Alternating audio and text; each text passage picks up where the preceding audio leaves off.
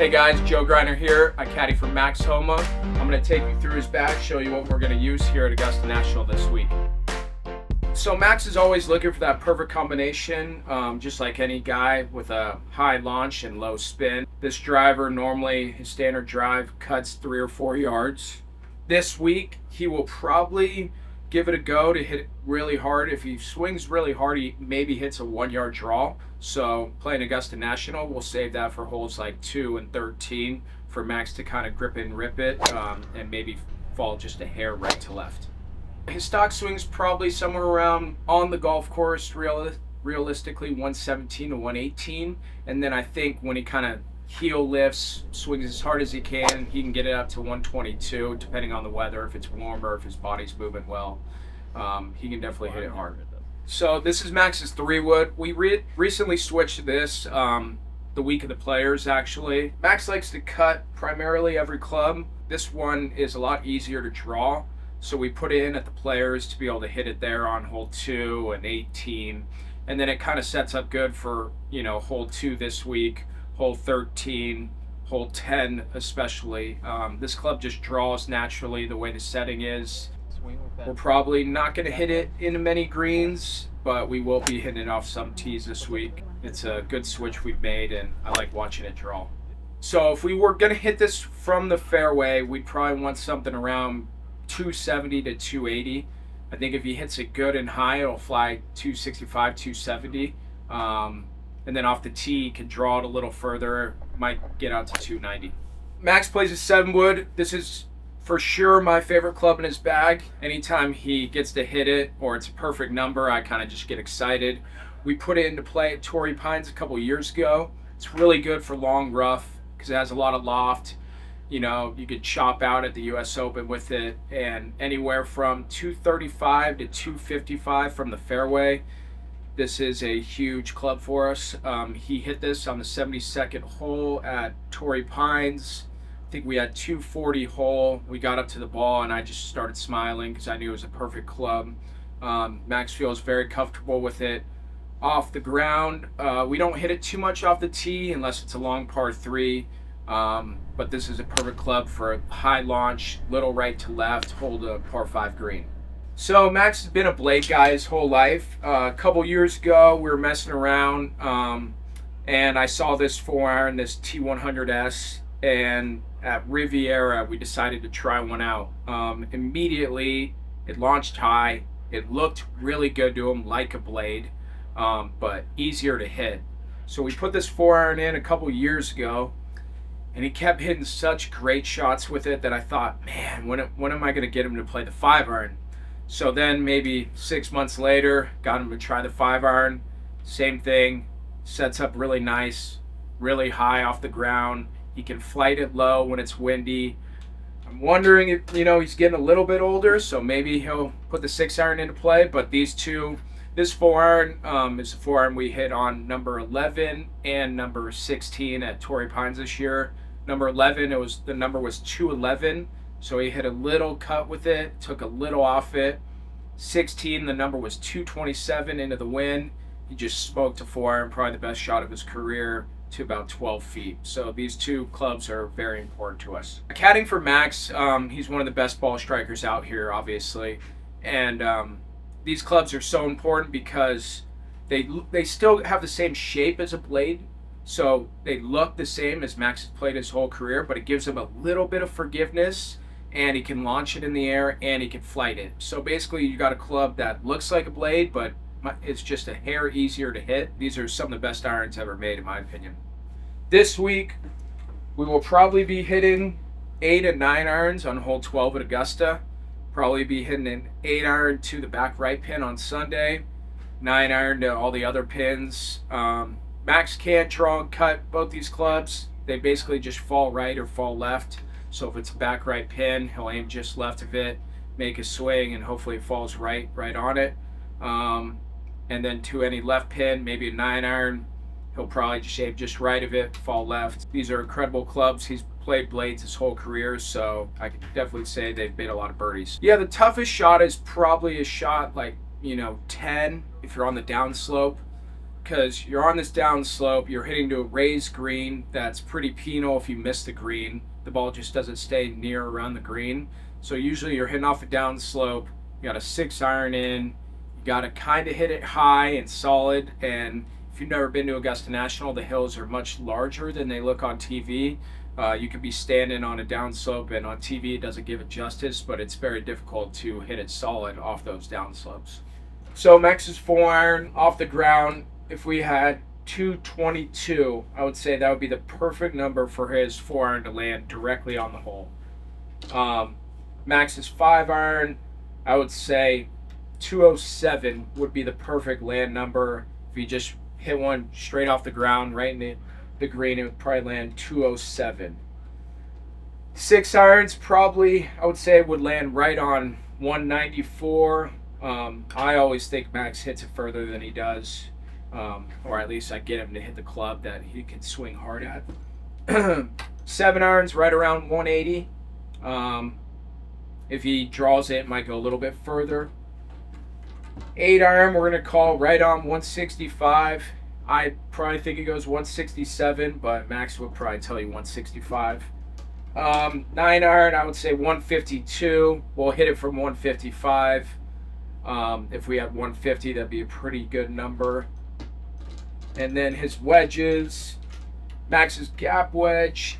Um, he has a really cool shot. He chokes down on it. Um, comes out a little flighted. Goes about 119, but I'd say stock goes about 125 pitching wedge obviously goes probably right on 140 if we're in the desert 145 and if we're at Torrey Pines probably 135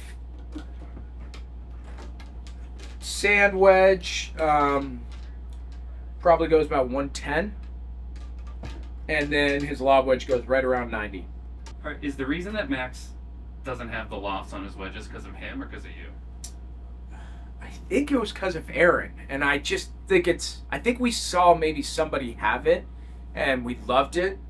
60, 56 for sure. I think this is 50, and this should be around 45. Um, just I love the fact that they just say pitch wedge, gap, sand, and lob wedge. I really think that's very cool. With his gap wedge, he has a 119 shot, and then he has a really choked down maybe an into the wind shot that he can hit about 105. That's kind of the least distance he could hit it. Uh, with pitching wedge, he can go from 140 and then he could chip it for 130 and then maybe he would chip cut a 125 shot into the wind, maybe back right pin. Um, Sand wedge, he has a couple different shots.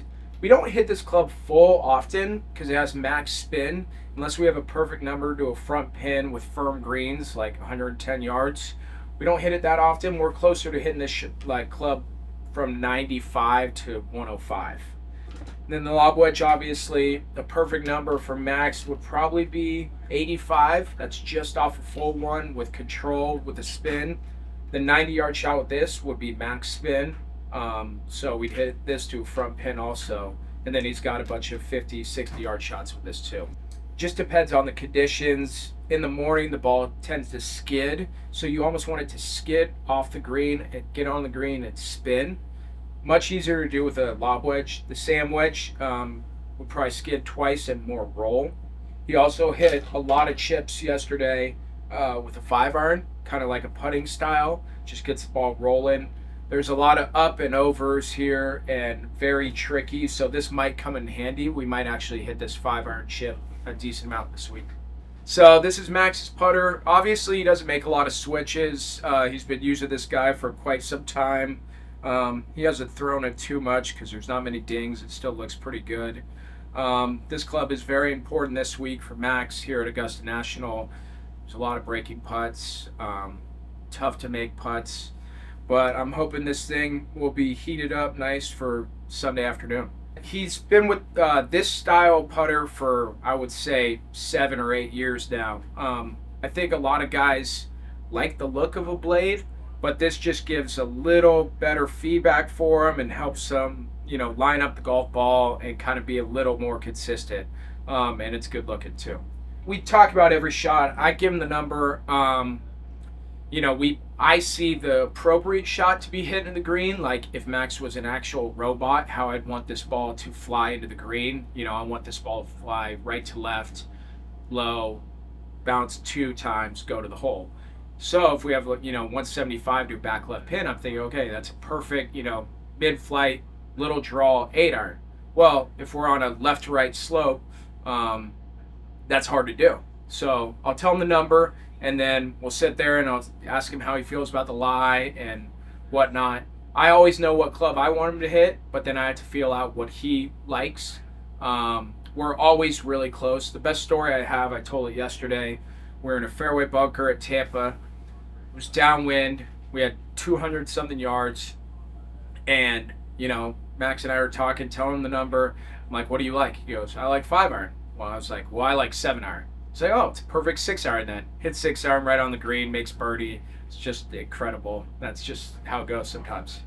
So Max recently switched to the 2023 Pro V1, um, and it was a pretty easy transition. He was looking for a little lower spin with the long irons, but higher launch. So to be able to hit shots like number 11 and 16 at Torrey Pines and make birdie on the final round to win the golf tournament. And then the nice thing about this golf ball is it still reacts the same around the greens, chipping, mid irons. Um, it's a really reassuring thing to caddy for Max when he's playing a Titleist golf ball because they make the best in the game. It's basically the most important part of my job is because uh, Max trusts me enough to tell him what club I like for him to hit into a green. And I've never once in my career of caddying ever doubted that the club was wrong or the golf ball was wrong. Normally I'm wrong Normally, Max makes a bad swing. Um, I've never thought about the golf ball. The golf ball is the most consistent, best golf ball out here. Obviously, the irons, same way. Um, makes my job a little bit easier. I know you've been to TPI. Yeah. You've got fit for your set. Yeah. Can you generally tell us what your set looks like versus Max? Yeah. Any similarities and what are the differences? Yeah. Um, similarities. My my golf clubs. I play the T100Ss. Best irons I've ever played easy transition. Um, I go to the 8 iron T100s. We have similar wedges. Mine all say gap sand, lob, pitch wedge, which I love. Similar woods, except my woods go probably 30 yards shorter than his. Um, we just did a fun bet the week before Austin where we played straight up, same tees, but Max was only allowed to tee off with a 7 wood. So when he draws his 7 wood in the desert, it probably goes like 260, 270. He hit a couple really long drives. He never outdrove me. Luckily, I hit my driver by a seven wood, but he did beat me. We are kind of prepping for the match play, and um, you know, I knew it would be good prep. I was hoping to beat him, really, you know, piss him off, but he beat me on 17. My putter is very similar to this. Um, I have my initials, Max, for my bachelor party. Um, got me one that has my initials, my favorite number. It's got a little blue in it for Dodger Blue. Um, unfortunately, I'm not making nearly as many putts as Max, though. I play the Pro V1X. Thank you to Nick Geyer for fitting me into it. I grew up with Nick. Um, he works for Titleist, obviously. He's one of the best fitters. He's left-handed, just like me. So um, I've known Nick since we're 10 or 11. So it's kind of fun to get fit and see him and um, play the Titleist golf ball. We just went on the spin, the launch, um, the feel. Feel was great. Um, we kind of tried all different golf balls, um, but the Pro V1X kind of the numbers fit the best. Of course. Uh-oh. Have a good one, man. All right, see you guys. No. Thanks. Thanks, Jeff.